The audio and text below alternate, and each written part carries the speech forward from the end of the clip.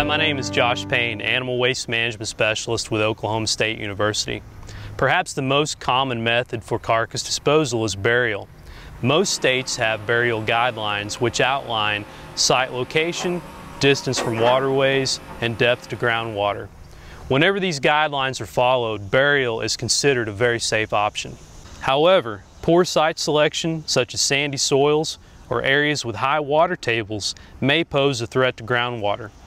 Furthermore, burial does not convert the carcass into a valuable byproduct. Variable equipment and labor costs will influence the economic viability of this disposal option.